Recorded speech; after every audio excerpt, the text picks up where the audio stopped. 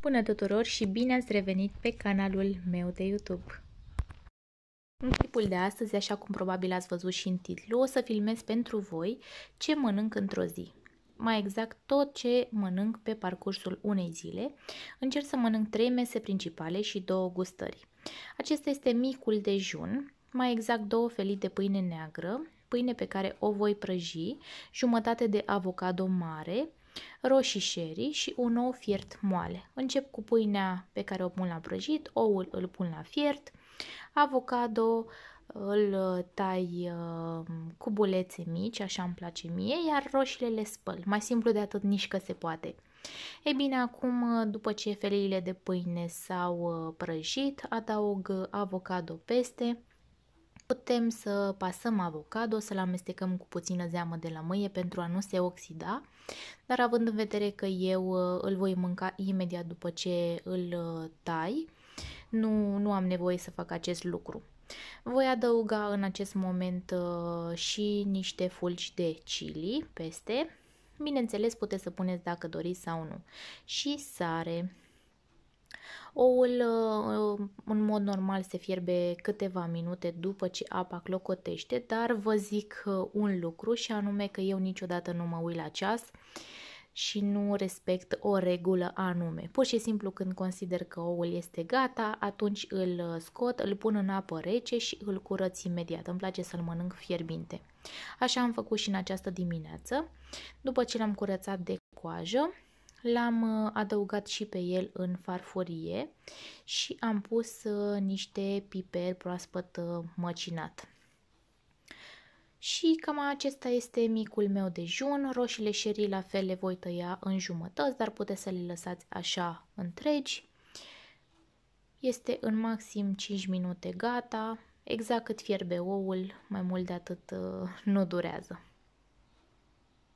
Iar acum este momentul să mâncăm. Micul dejun uh, este una dintre mesele mele preferate și peste care am uh, grijă să nu sar uh, aproape niciodată, cel puțin de când încerc să am o alimentație mai sănătoasă, mai echilibrată și bineînțeles încerc și să slăbesc. Ei bine, în fiecare dimineață îmi prepar ceva foarte repede, oul încerc să-l mănânc de 3-4 ori pe săptămână Pâinea de obicei o prăjesc și mănânc pâine neagră în mod normal, iar avocado, de exemplu, este un fruct pe care l-am descoperit nu de foarte mult timp.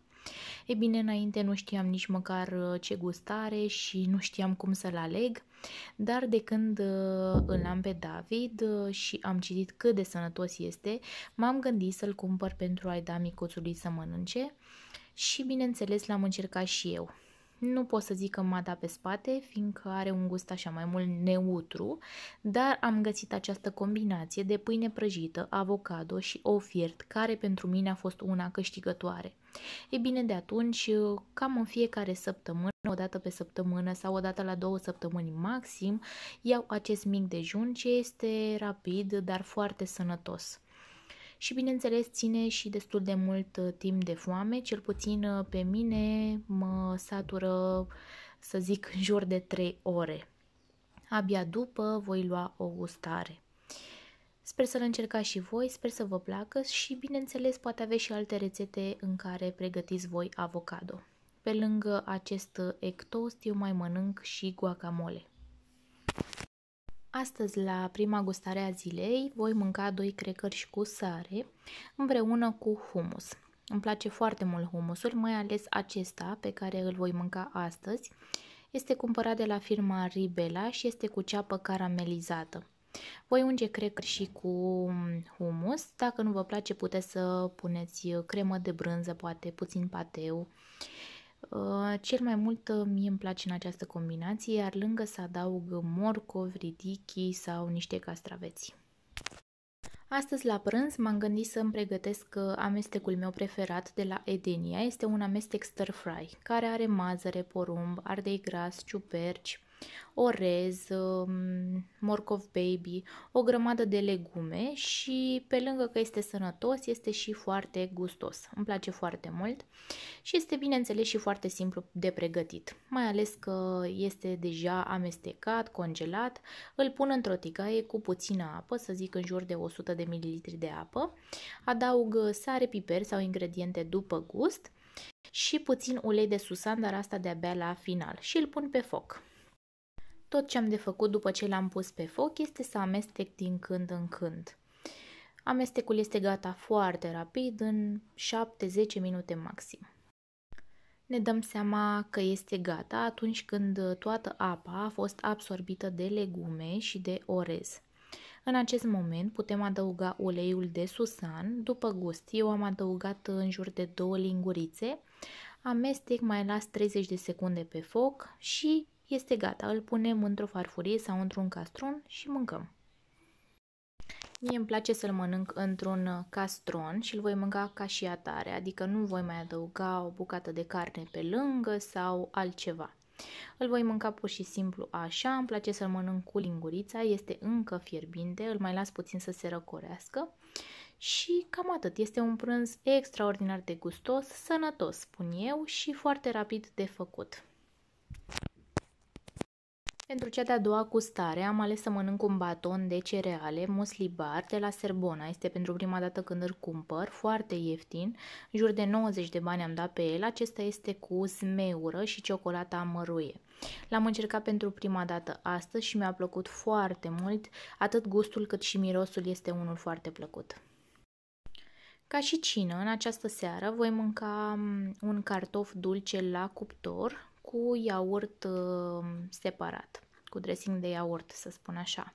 E bine, ce am de făcut este să iau un cartof, uh, de obicei ei se găsesc în dimensiuni din acestea destul de mari, îl curăț de coajă, îl spăl și îl tai ca și cum am face cartofi prăjiți. E bine, trebuie să ștergi și puțin masa, fiindcă așa se întâmplă, facem și mizerie atunci când gătim. Tăiem cartoful uh, fășii, le adăugăm într-un castron, iar uh, peste voi adăuga ulei de măsline și condimente. Trebuie să-l bag la cuptor și cam atât. Se face foarte repede. Cred că în jur de 20-30 de minute cartoful este copt și pe lângă asta este și foarte sănătos. La fel putem să procedăm și cu cartoful uh, alb, cartoful normal. Eu voi adăuga și niște fulgi de chili, pătrunjel și usturoi granulat. Îmi place foarte mult cu usturoi granulat și ați văzut și puțin ulei de măsline. Amestec toate aceste ingrediente și le pun pe o hârtie de copt la cuptor până cartofii vor fi uh, gata, vor fi copți. Ne dăm seama că sunt gata atunci când sunt moini. Așa arată cartofii mei. Uh, ies în jur de două porții mai mici sau una destul de mare. E bine, eu nu voi mânca tot. Lângă am pus uh, niște iaurt și puțin pătrunjel, puteți să puneți și un cățel de usturoi dacă vă place, iar peste cartofi voi pune puțin cașcaval ras. Și aceasta este cina mea, sper că v-a plăcut acest clip, dacă da, nu uitați să vă abonați și să-mi lăsați în rubrica de comentarii care a fost uh, masa zilei uh, ce v-a plăcut cel mai mult.